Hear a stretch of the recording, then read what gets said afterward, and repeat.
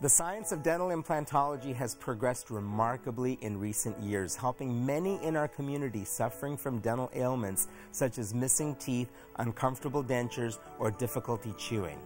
A dental implant is a permanent tooth replacement with a titanium root that integrates into the structure of your jawbone. They do not rely on neighboring teeth for support and also preserve bone.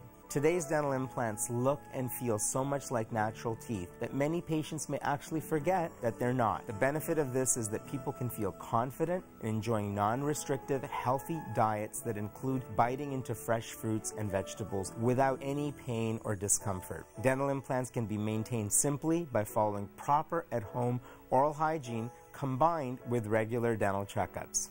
For the Smile File, I'm Dr. Arun Narang, yours for better dental health.